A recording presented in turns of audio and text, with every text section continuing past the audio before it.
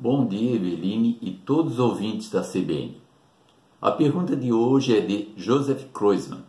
Gostaria de auxílio com relação a uma dúvida na utilização de notas fiscais de atendimentos médicos para imposto de renda. Fiz pagamento de R$ 5.506, parcelado em 12 vezes, e pedi as notas fiscais para declarar no IR.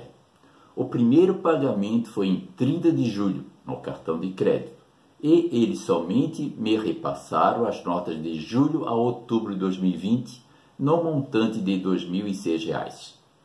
Fico na dúvida em declarar todo o montante ou somente o montante parcial. Bom, Joseph, para fins de imposto de renda, os lançamentos devem ser realizados com base no efetivo pagamento, ou seja, você não deve lançar pelo valor total da despesa, mas sim pelos pagamentos realizados em 2020. Porém, considerando que o referente 2020 você recebeu apenas R$ 2.006 de notas fiscais, sugiro você lançar este valor para evitar cair na malha fina, pois foi este o valor que o seu médico, através da DEMED, declarou.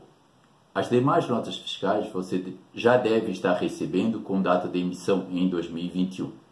O Sescom Grande Florianópolis está na CBN Diário respondendo às suas dúvidas e você pode mandar mensagem para o WhatsApp 99181 3800 que a gente responde. Uma excelente semana para você, Eveline e todos os ouvintes da CBN.